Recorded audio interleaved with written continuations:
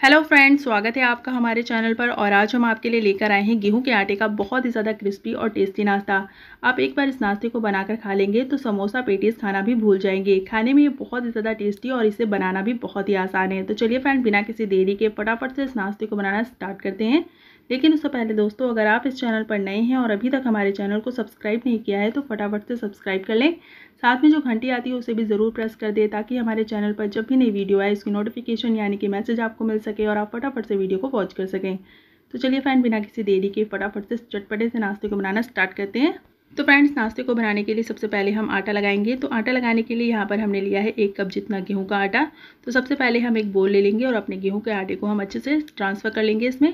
तो यहाँ पर आटे को हम पहले अच्छे से छान लेंगे ताकि इसके अंदर कोई भी गंदगी वगैरह ना हो। तो इस तरह से आपको महीन वाला आटा इस्तेमाल करना है इस नाश्ते को बनाने के लिए। तो आटे को हमने अच्छे से छान लिया है। तो अब हम इसमें ऐड करेंगे स्वाद अनुसार नमक। नमक के बाद हम इसमें ऐड करेंगे एक चौथाई चम्मच जितनी अजवाइन। तो इस नाश्ते में अजवाइन डालने से नाश्ते का टेस्ट बहुत ही ज़्यादा अच्छा आता है। इसके बाद हम इसमें ऐड करेंगे दो तो छोटे चम्मच जितना मेल्टेड घी आप अगर घी नहीं खाते हैं तो आप इसकी जगह पर रिफाइंड ऑयल भी यूज़ कर सकते हैं।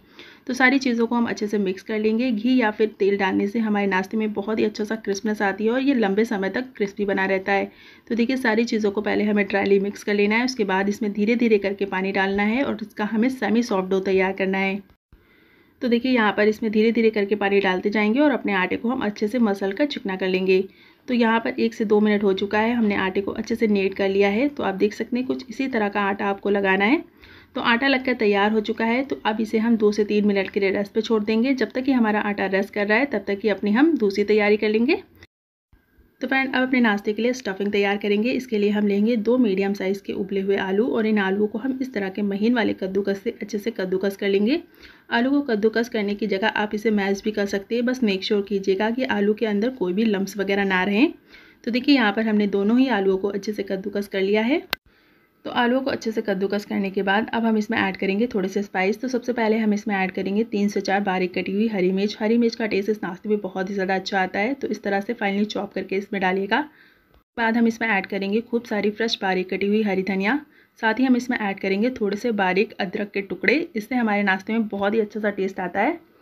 तो दोनों ही चीज़ों को ऐड करने के बाद अब हम इसमें ऐड करेंगे थोड़ी सी बारीक कटी हुई प्याज। तो यहाँ पर हमने एक मीडियम साइज़ की प्याज ली है। अगर आप प्याज नहीं खाते हैं तो आप प्याज को स्किप कर सकते हैं।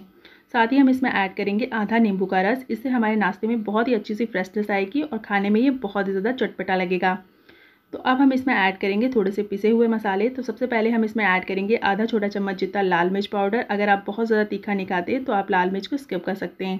साथ ही हम इसमें ऐड करेंगे आधा छोटा चम्मच जितना धनिया पाउडर इसके बाद हम इसमें ऐड करेंगे आधा छोटा चम्मच जितना चाट मसाला पाउडर साथ ही हम इसमें ऐड करेंगे थोड़ा सा भुना हुआ ज़ीरा पाउडर तो ज़ीरा पाउडर आपको एक चौथाई चम्मच जितना ही डालना है, साथ ही हम इसमें ऐड करेंगे एक बड़ा चम्मच जितना गरम मसाला पाउडर इससे हमारे नाश्ते में बहुत ही अच्छा सा टेस्ट आएगा। तो सारे मसालों को हम अच्छे से आलू में मिक्स कर लेंगे।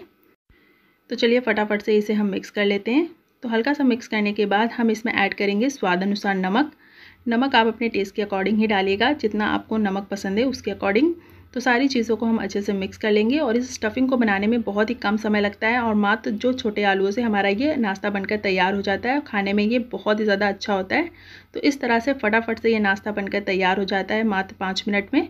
तो देखें यहाँ पर हमारी ये चटपटी सी स्टफिंग बनकर रेडी हो चुकी है। तो अब इस स्टफिंग को हम साइड में रखेंगे और अब अपने नाश्ते के लिए हम एक चीज़ बनाएँगे, जिससे हमारा नाश्ता बहुत ही ज़्यादा क्रिस्पी और लेयरी बनेगा।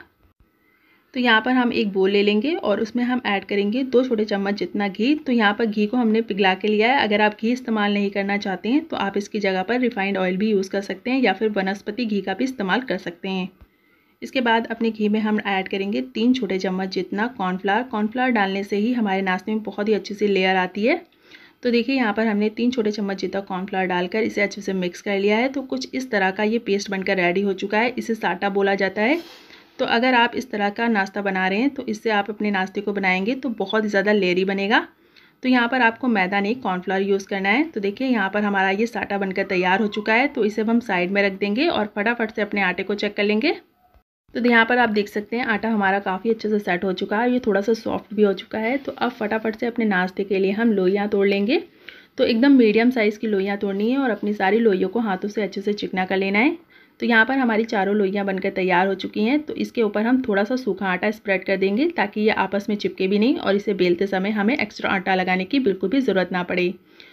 तो अब फटाफट से अपनी एक लोई को हम ले लेंगे और इसे हम बेलना स्टार्ट करेंगे। तो जैसे हम नॉर्मल चपाती बनाते हैं सेम उसी तरह से आपको इसे बनाना है। तो एकदम बड़ी सी चपाती आपको बनाकर तैयार कर लेनी है। तो यहाँ पर आप देख सकते हैं, चपाती का जो साइज़ है वो इस तरह का होना चाहिए। बहुत ज़्यादा बड़ी भी नहीं और बहुत ज़्यादा छोटी भी नहीं और इसकी जो थिकनेस होगी वो भी मीडियम होगी। तो यहाँ पर हमारी ये पहली चपाती बनकर रेडी हो चुकी है। तो इसे आपको एक समान बेलना है। तो इसी तरह से अपनी सारी चपातियों को हम बेल लेंगे। तो चलिए फटाफट से अपने सारे नाश्ते को बेल लेते हैं। तो देखिए, यहाँ पर हमने चार चपाती बेल कर तैयार कर ली है। तो अब फटाफट से अपने नाश्ते को हम बनाना स्टार्ट करेंगे। तो सबसे पहले एक चपाती को ले लेंगे और उसके बाद हमने जो अपना साटा तैयार किया है, उसे हम इसके ऊपर एक चम्मच के करीब फैलाएँगे और इसे हम हाथों से इस तरह से रोटी के चारों तरफ़ अच्छे से स्प्रेड कर देंगे ताकि इसकी जो लेयर है, वो अच्छे से इवनली सब जगह स्प्रेड हो जाए। इसके बाद इसके ऊपर हम थोड़ा सा कॉर्नफ्लावर डालेंगे और दूसरी रोटी से हम इसे कवर कर देंगे। तो अब इस प्रोसेस को आपको रिपीट करते जाना है जब तक कि आपकी चौथी रोटी इसके ऊपर लेयर की तरह ना लग जाए। तो यहाँ पर हमने चारों रोटियों को अच्छे से लेयर कर दिया। ऊपर वाली रोटी में भी हमने साटा लगाकर इस तरह से कॉर्नफ्लावर डाला है और इसे इस तरह से हल्के हाथों से रोल कर लेना है। रोल करने के बाद आपको इसे हल्के हाथों से अच्छे से बढ़ा लेना है ताकि हमारा जो रोल है वो इवन रहे, कहीं से मोटा और कहीं से पतला ना रहे। तो यहाँ पर हमारा रोल तैयार हो चुका है तो इसे हम इस तरह से आधा आधा इंच की दूर पर इस तरह से कट कर लेंगे। तो नाइफ़ को आपको इसी तरह से चलाना है, इससे आपका जो नाश्ते की लेयर है वो बहुत ही ज़्यादा अच्छी बनेगी। तो इसी तरह से अपने सारे नाश्ते को हम कट कर लेंगे और जो ये लोइयाँ तैयार होंगी उसे हम बाद में बेलेंगे। तो देखिए यहाँ पर हमारी सारी लोइयाँ तैयार हो चुकी हैं लेयर वाली। तो इसे हम इस तरह से हाथों से चपटा कर लेंगे, यानी कि इसे इस तरह से प्रेस करते हुए चिपका लेंगे और इसे अब हम बेलेंगे। बेलते समय आपको ध्यान रखना है, इसकी लेयर को आपको बहुत ही हल्के हाथों से बेलना है। इसके बाद हमने जो अपनी स्टफिंग तैयार की है, उसे हम एक से डेढ़ चम्मच के करीब इसके सेंटर में रखेंगे और साइड में हम थोड़ा सा पानी लगा लेंगे। आप चाहें तो किसी तरह की स्लरी भी बना कर लगा सकते हैं, यानी मैदे की स्लरी बनाकर आप इसे अच्छे से फिक्स कर सकते हैं। तो यहाँ पर पानी लगाकर हम इसे अच्छे से सील कर देंगे। आटे को आपको निकालना नहीं है, इसी में अच्छे से दबा देना है। तो यहाँ पर हमारा ये पहला नाश्ता बनकर रेडी हो चुका है। इसी तरह से अपने सारे नाश्ते को अच्छे से बेलते जाएँगे और इसे हम इस तरह से शेप देते जाएँगे। तो चलिए फटाफट से अपने सारे नाश्ते को हम इसी तरह से बनाकर रेडी कर लेते हैं। तो फ्रेंड हमने अपने सारे नाश्ते को बनाकर रेडी कर लिया और आप देख सकते हैं ये बहुत ही अच्छे से बिल कर तैयार हो चुका है। तो इस पर हम हल्का सा ऑयल लगाएँगे और इसे हम इस तरह से हल्का सा बेल लेंगे ताकि इसकी जो अंदर स्टफिंग है वो थोड़ी सी इक्वली फैल जाए इसके अंदर। और इस तरह से इसे थोड़ा सा बढ़ा लेंगे। तो इसी तरह से अपने सारे नाश्ते को हम बढ़ाते हुए इसे तेल में डालेंगे। तो यहाँ पर हमने ऑलरेडी तेल गर्म होने के लिए रख दिया है। तो अब अपनी एक एक नाश्ते को हम हल्का सा प्रेस करते हुए बेल लेंगे और इसे हम डायरेक्ट तेल में डाल देंगे। तो यहाँ पर एक बार में जितने नाश्ते पैन में आ रहे हैं, उतने ही नाश्ते को आपको डालना है और डालने के बाद आपको इसे बिल्कुल भी टच नहीं करना है। मीडियम फ्लेम पर आपको इसे फ्राई होने देना है दो से तीन मिनट के लिए। जैसे जैसे ये कुक हो जाएगी, ये खुद ब खुद तेल के ऊपर अच्छे से फ्लोट करने लगेगी। तो इसे आपको बहुत ही केयरफुली अच्छे से पलट देना है। तो यहाँ पर आप देख सकते हैं, अभी तक गैस की फ्लेम बिल्कुल मीडियम है। मीडियम फ्लेम पर इसलिए पकाएँगे ताकि हमारा जो नाश्ता है वो अंदर से भी अच्छे से कुक हो जाए। तो दो से तीन मिनट हो चुके हैं और आप देख सकते हैं हमारा नाश्ता अंदर से अच्छे से कुक हो चुका है। ये काफ़ी अच्छे से फूलने लगा है। तो ये साइन होता है कि हमारा जो नाश्ता है वो अंदर से भी अच्छे से कुक हो चुका है। तो अब हम इसे पलट देंगे और अपनी गैस की फ्लेम को थोड़ा सा हाई कर देंगे और इसे हम थोड़ी सी हाई फ्लेम पर अच्छे से क्रिस्पी होने तक फ्राई करेंगे। तो बस दो से तीन मिनट ही लगेंगे इस नाश्ते को अच्छे से गोल्डन ब्राउन होने में। जब आपको लगे कि काफ़ी अच्छे से गोल्डन ब्राउन हो चुका है और क्रिस्पी हो चुका है, तब आपको इसे फटाफट से तेल से बाहर निकाल लेना है और इसी तरह से आपको बचे हुए नाश्ते को भी फ्राई करना है। दूसरे नाश्ते को, यानी कि दूसरे बैच को फ्राई करते समय आपको तेल को हल्का सा ठंडा कर लेना है, उसके बाद अपने नाश्ते को डालना है या फिर आपको नाश्ते को डालने के बाद अपनी गैस की फ्लेम को बंद कर देना है। इससे हमारा नाश्ता बहुत ही अच्छे से कुक होता है अंदर से।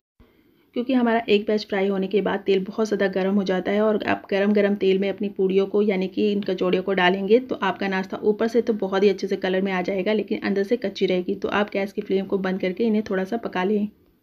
और जैसे ही ये हल्की सी कुक हो जाए, अपनी गैस की फ्लेम को दोबारा ऑन करके आपको इसे अच्छे से क्रिस्पी होने तक फ्राई कर लेना है। तो चलिए फ्रेंड, फटाफट से अपने सारे नाश्ते को बना लें बनकर तैयार हो चुका है हमारे गेहूँ के आटे का। ये बहुत ही ज़्यादा क्रिस्पी और लेरी नाश्ता और बहुत ही ज़्यादा अच्छा बनकर तैयार होता है और बहुत ही कम समय में बनकर तैयार होता है।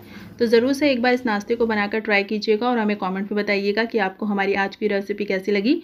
वीडियो पसंद आई हो तो वीडियो को लाइक और चैनल को सब्सक्राइब कीजिएगा। हम मिलते हैं आपको नेक्स्ट वीडियो में ऐसी नई मज़ेदार रेसिपीज़ के साथ। तब तक के लिए अपना ख्याल रखिए। Bye and take care and thanks for watching